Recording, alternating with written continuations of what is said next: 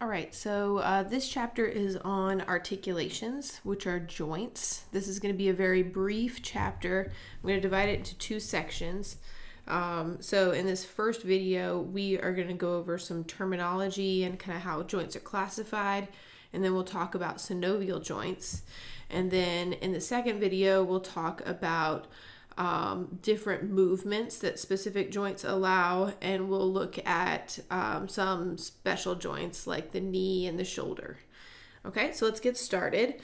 All right, so we can classify joints in two different ways. All right, so we can classify them um, functionally, so that's just based on the amount of movement that they allow, and we can classify them structurally based on what type of tissue is connecting the two bones. All right, so articulations again are joints. All right, so this is where two bones are joined together. Okay, so let's talk about our functional classifications first. So, first we have a uh, synarthrosis. So, this is an articulation that allows no movement.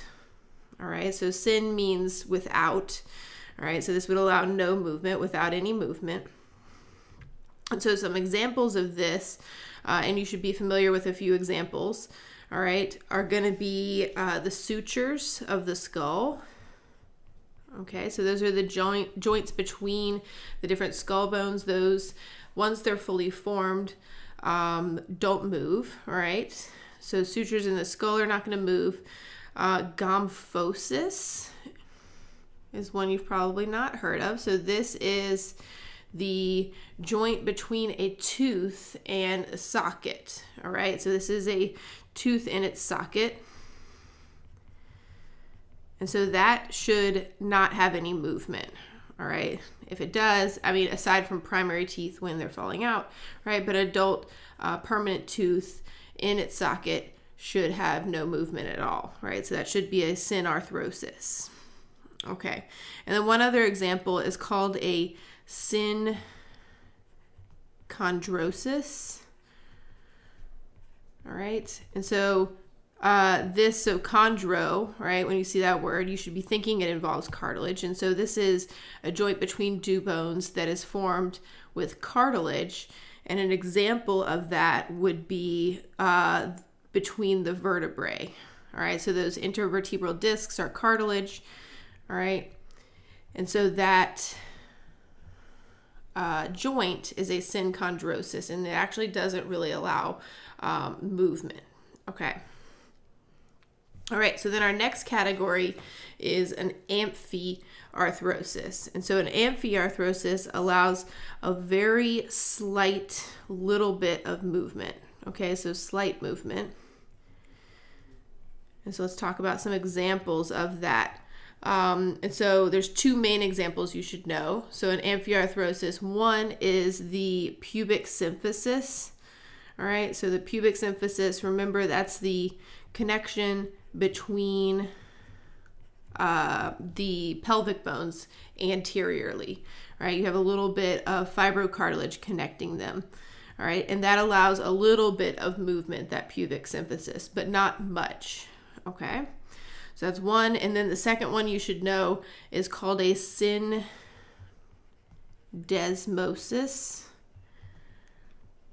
All right, and so an example of a syndesmosis. So this is a joint formed by uh, fibrous connective tissue.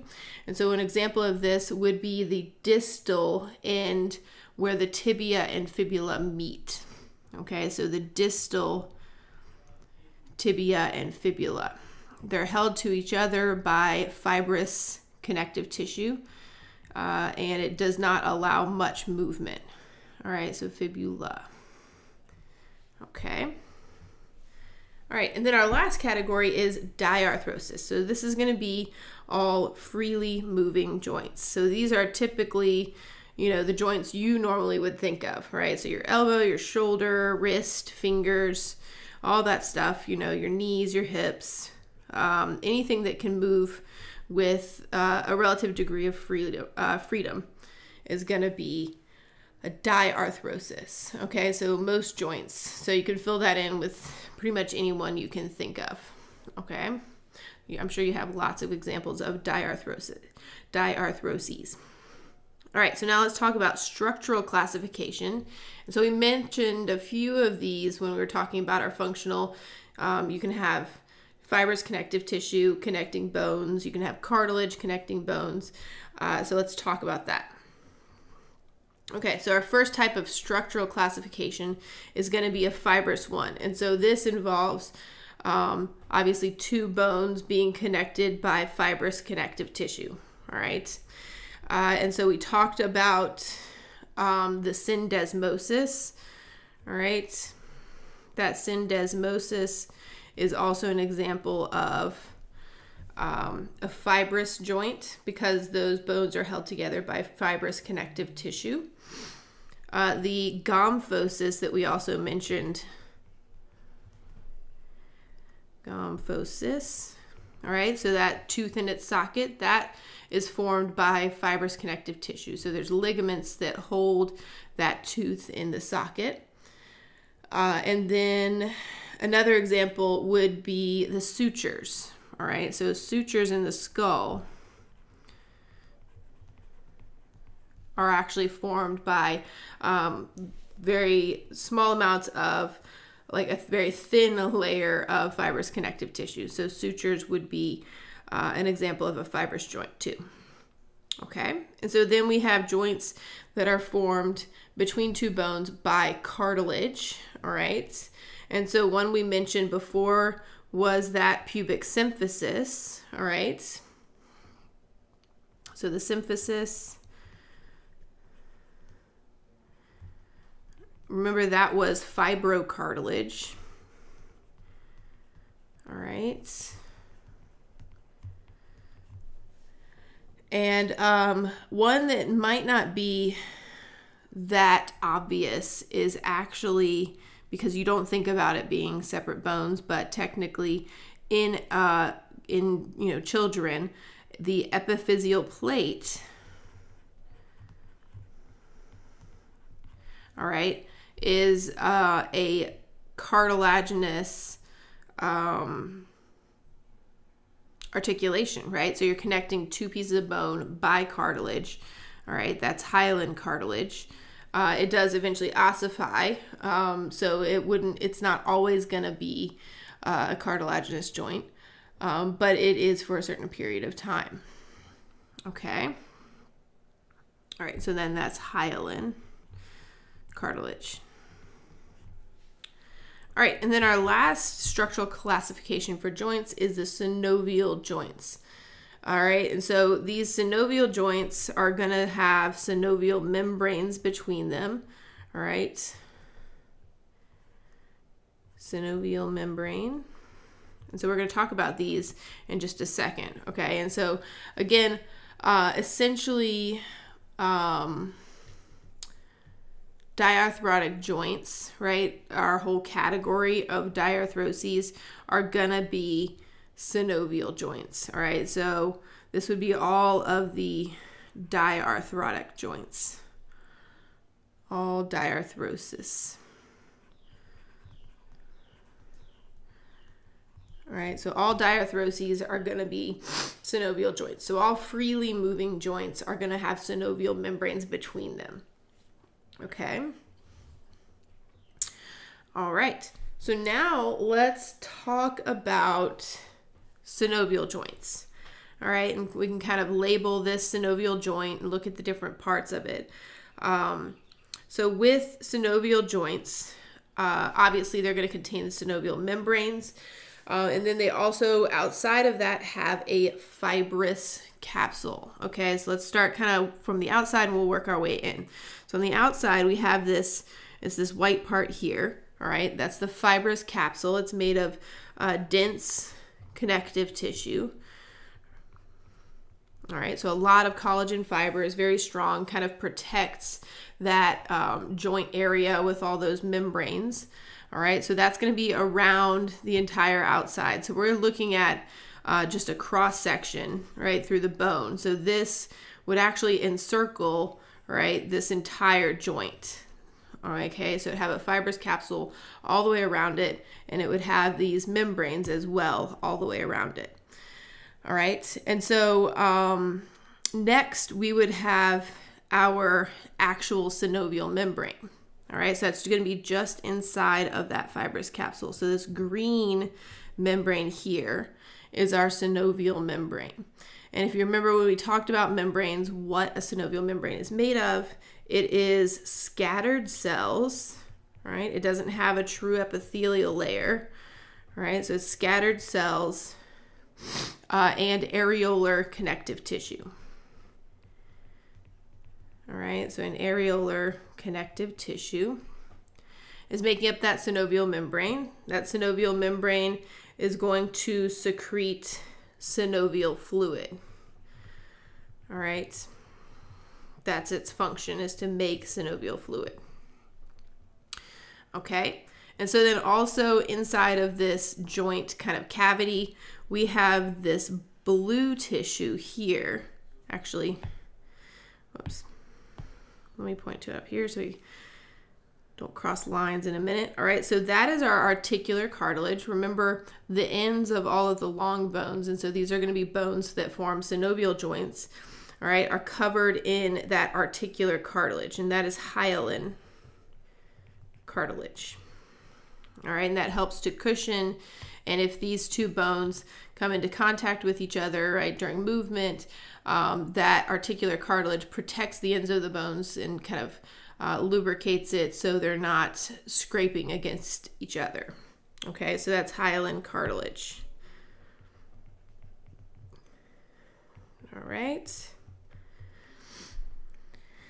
Okay, and so then let's talk about the synovial fluid. So the uh, synovial membrane here is going to make synovial fluid and it's going to secrete it into this cavity of that synovial joint. All right, so all inside of here would be synovial fluid. Okay, and so uh, that synovial fluid, what it's made up of, primarily is hyaluronic acid. All right, hyaluronic acid, which we learned about in our tissue chapters, has kind of like an egg white consistency. All right, so it's not a watery fluid, right? It's a little more viscous than that. Uh, and it helps to cushion that joint. So it's hyaluronic acid and it's going to contain some uh, nutrients. All right, because remember, cartilage, all right, this articular cartilage is avascular, okay? So it doesn't have blood vessels, so it needs to get nutrients from somewhere. And so this articular cartilage is going to get its nutrients from that synovial fluid. So it kind of has two major functions in that it cushions the joint surfaces, right? So that synovial joint, and it helps to nourish that articular cartilage. Okay, so those are our membranes and our structures within that synovial joint.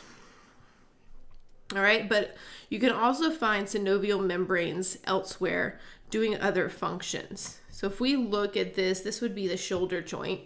All right, and so this is um, the glenoid fossa of the scapula, and then you have the acromion of the scapula up here, and so then this would be the head of the humerus that we're looking at. All right, and so then we have our synovial membrane here of the actual synovial joint cavity. All right, and you can see our articular cartilage on the bone here.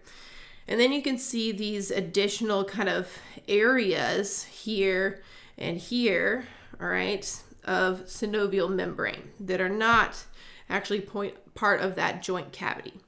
Okay, so you have your synovial joint, which is here, all right. There's no real easy way to point to that, so I'll just point it out like this.